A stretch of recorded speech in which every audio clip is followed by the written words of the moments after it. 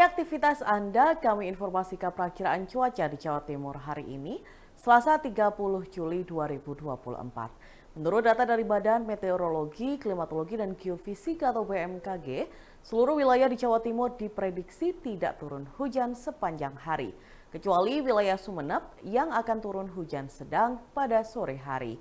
Mayoritas cuaca di daerah lainnya akan cerah hingga berawan.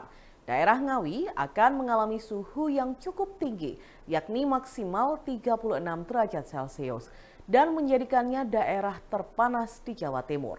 Untuk daerah terpanas kedua dengan suhu tertinggi 35 derajat Celcius akan dialami wilayah Bojonegoro, Kota Madiun, Kota Mojokerto, dan Lamongan. Sementara suhu di wilayah Surabaya, Sidoarjo, dan sekitarnya berkisar antara 24 hingga 33 derajat Celcius.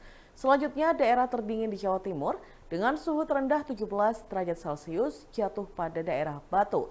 Lalu daerah terdingin kedua dengan suhu terendah 21 derajat Celcius akan dialami wilayah kota dan kabupaten Malang, Bondowoso, Pacitan, dan Trenggalek.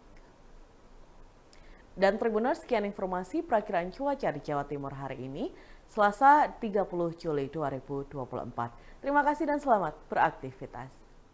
Download Tribun X sekarang, menghadirkan lokal menjadi Indonesia.